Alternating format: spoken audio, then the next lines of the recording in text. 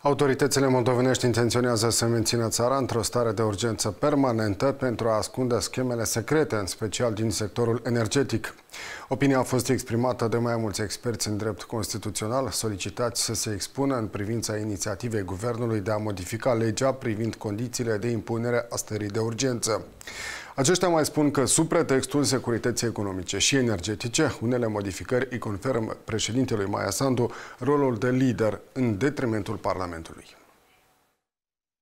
Așadar, guvernul a trimis Parlamentului spre examinare un proiect de modificare a legii privind regimul stării de urgență. Documentul propune următoarea completare. Existența unei amenințări la adresa bunăstării economice și securității energetice a statului, care face necesară prevenirea, reducerea și eliminarea consecințelor acesteia. În cazul în care completările vor fi adoptate, anumite prevederi din lege de asemenea vor fi modificate, iar sintagmele constatare și încetare vor fi folosite în loc de declarare stabilizare și eliminare. Această propunere derivă din criza economică și energetică cu care se confruntă Republica Moldova în ultima perioadă, împrejurare care justifică o astfel de prevedere, se arată în document. Totuși, experții în drept constituțional au atras atenția asupra unui alt aspect important. Astfel, în cadrul unei amenințări iminente la adresa securității naționale, dacă Parlamentul nu se află în ședință, președintele semnează un decret prin care stabilește o măsură. Deputații trebuie să se întrunească de urgență în termen de 24 de ore pentru a aproba propunerea. În acest context, guvernul propune amendamente pentru ca, în cazul în care nu are loc o ședință extraordinară, decretul șefului statului să poată fi adoptat automat automat de legislativ.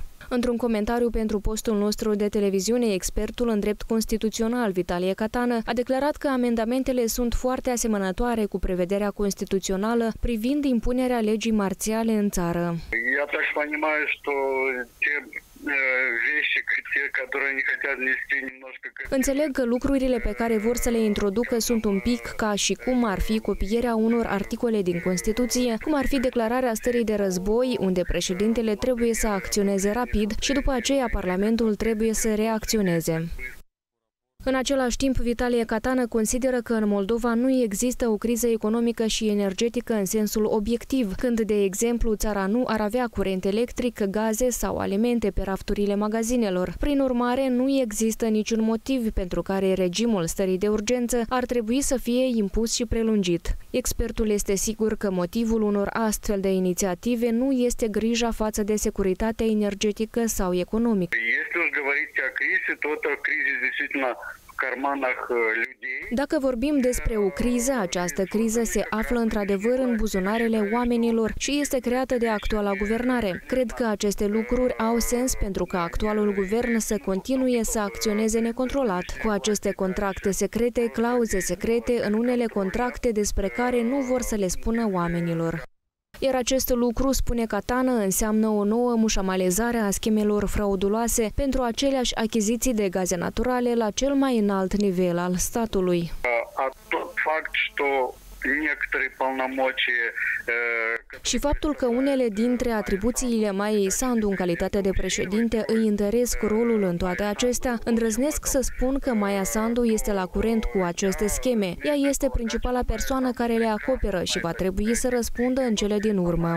Iar expertul în drept constituțional, Teo Cârnaț, susține că amendamentele reduc din o serie de funcții parlamentare în favoarea consolidării puterii prezidențiale.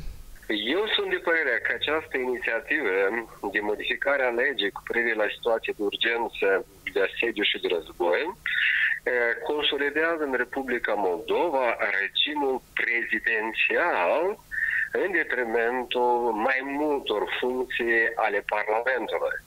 Fiindcă atunci când președintele depune jurământul că el va garanta suveranitatea, independența și integritatea teritorială, el, lui trebuie să fie asigurate anumite instrumente și mecanisme prin intermediul cărora să se realizeze acest jurământ. În opinia sa, legislația actuală, inclusiv prevederile Constituției privind condițiile de declarare a stării de urgență sau a legii marțiale, limitează semnificativ capacitatea de decizie a șefului statului, iar inițiativa legislativă nu a apărut întâmplător, ci este legată de războiul din Ucraina. Dar din uh, actualele prevederi din Constituție, cât și din legea cu privire la situație de urgență, stare de război, președintele este legat de Parlament. Că Parlamentul e obligat ca acțiunile președintelui în 24 de ore să fie validate. Acest control din partea Parlamentului asupra președinției se face cu scopul ca nu cumva președintele să abuzeze.